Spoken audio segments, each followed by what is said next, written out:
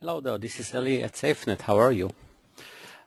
This uh, session is about uh, how to add cloud support for LDK 7.1. So LDK 7.1 does not include uh, an integrated cloud support. You have to ask it from sales support, uh, from sales, uh, SafeNet sales, and then as a return get two emails with all the information, the links and the attachments that you would need in order to uh, start working with cloud or start evaluating it. Uh, basically, you will have uh, a link where you can find two installers. One is the EMS cloud installer. This is called sentinelcloudservices.exe and it will, it will eventually allow you to have inside your EMS an option to create also licenses, entitlements, products, etc., but not for Sentinel LDK, instead also for Sentinel Cloud.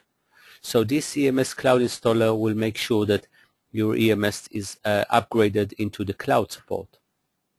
Then we have another uh, installer which is Sentinel Cloud Runtime.exe. This installer will eventually uh, deploy your APIs for Cloud Connect.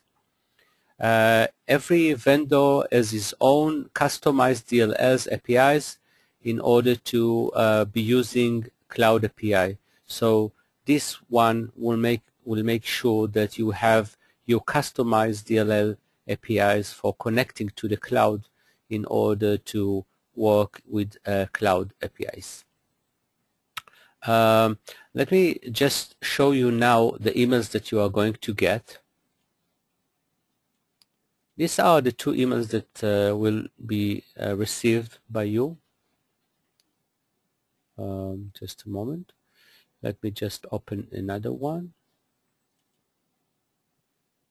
So this is one email where you have several uh, attachments and then you also have here a link where you should go in order to download uh, the two uh, installers as we said. Uh, another email, let me show you, is this one. In this email you have also other uh, important parameters that you have to use. I don't want to elaborate for each one of them. Uh, maybe just tell you that you have a specific uh, uh, secrets, let's say, that identifies you as a vendor. It's the alias, vendor ID, shared key ID, uh, and also shared uh, key, which is uh, like your own uh, password. Also, we are going to use your HVC. It's the vendor code file that identifies you. As well, it is part of the attachments here. Let me now show you uh, part of the emails I want to show uh, the, the, the files that are going to be downloaded. This is one package. This package is for the Sentinel Cloud Runtime deployment. Uh, I have to uh, use it. Uh, I don't want to elaborate which uh, which are the steps. You will find the steps in on, on another video that I have prepared.